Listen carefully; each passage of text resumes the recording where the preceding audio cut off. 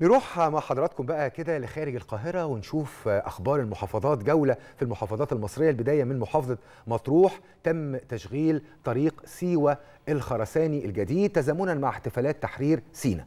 في الفيوم تم تنفيذ حوالي 234 مشروع للصرف الصحي بقرى حياة كريمة. كمان في شمال سيناء تم افتتاح متحف التراث السيناوي بالعريش وفي أسوان بيتم تنفيذ مشروع إحلال شبكات الصرف بحي شرق بتكلفة 20 مليون جنيه. خلينا نعرف تفاصيل أكتر عن المحافظات في التقرير اللي جاي.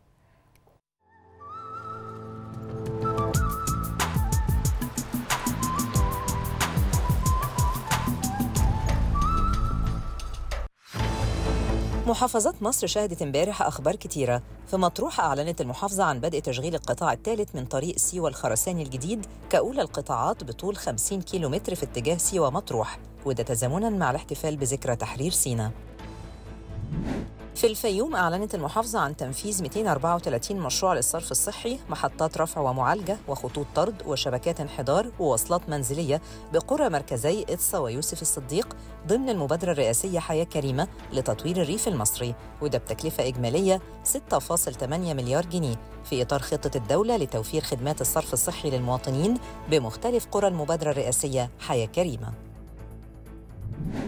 في سوهاج شهدت المحافظة افتتاح توسعات محطة معالجة صرف صحي إدفا بمركز سوهاج.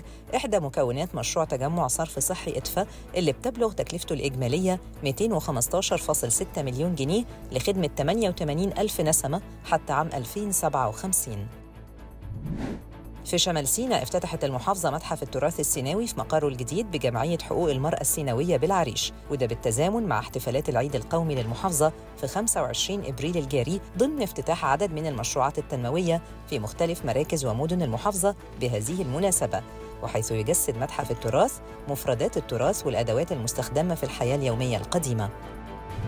في المنيا أعلنت مديرية الطب البيطري بدء تنفيذ ست قوافل بيطرية مجانية علاجية وقائية إرشادية بقرى المحافظة في الفترة من 20 إبريل الجاري حتى الخميس 25 إبريل بالتعاون مع معهد بحوث التناسليات الحيوانية وده ضمن خطة تكثيف القوافل البيطرية العلاجية المجانية بهدف تحسين أداء الخدمات البيطرية في المناطق الريفية وتقديم أفضل الخدمات للمربين للحفاظ على الثروة الحيوانية وزيادة إنتاجيتها. في أسوان بتشهد المحافظة تنفيذ مشروع إحلال شبكات وخطوط الصرف الصحي بنطاق حي شرق المدينة بدءا من معسكر الوقود وصولا لقسم شرطة أسوان ثاني بتكلفة تقديرية 20 مليون جنيه. وحيث يتم تنفيذ مشروع الإحلال والتجديد لخدمة أكثر من 35 ألف نسمة والقضاء على أحد المشاكل المتراكمة منذ أكثر من 15 سنة.